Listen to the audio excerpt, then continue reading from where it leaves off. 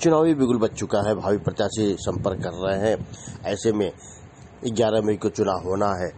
भाजपा के प्रत्याशी राकेश राजभर लोगों से बैठक कर रहे हैं।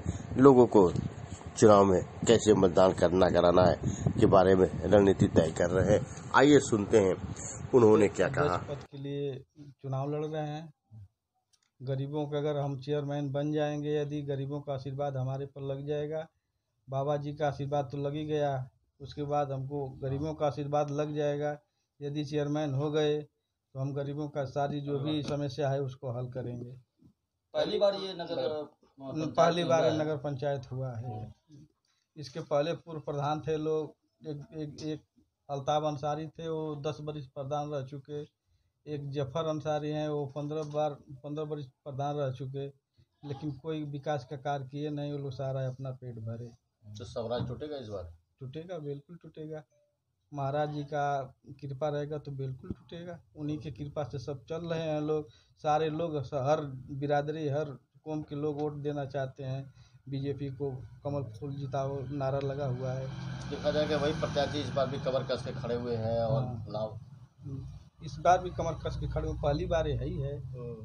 अगली बार तो प्रधान ही थी तो प्रधान लोगों ने लूट पाट करके वही लोग हमडम जात के थे दोनों लोग प्रधान हुए थे। पारी पारा एक ही होता है एक वो होता है।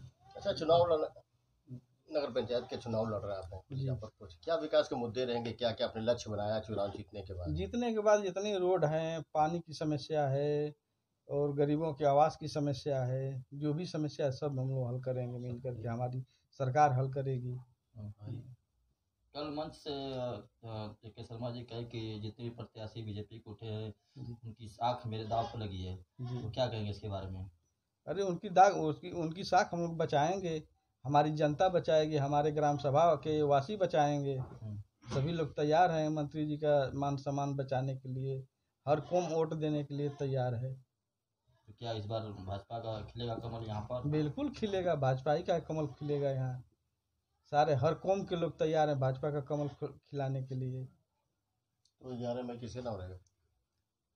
तेरह में तेरह मई किसके नाम मई को चुनाव तेरह मई को। हम अब राकेश के नाम से रहेगा भाजपा पार्टी के नाम से रहेगा। जी। लेकिन यहाँ पर बताया जा रहा है कि ज़्यादातर बहु मुस्लिम बहुबल क्षेत्र है। अस्सी परसेंट। यहाँ पर। मतदाता मुस्लिम है मुस्लिम है।